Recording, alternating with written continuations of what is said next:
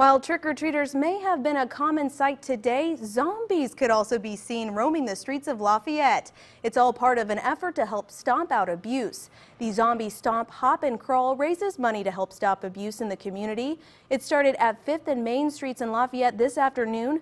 From there, the zombies stomped to Riehle Plaza for a costume contest.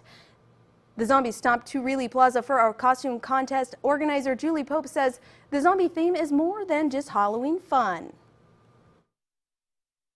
The correlation between the, the zombie stomp and um, this event is that, you know, if someone is being abused and they're not getting help, then they are a walking zombie, so to speak. Proceeds from the event benefited the Heartford House for Abused Children.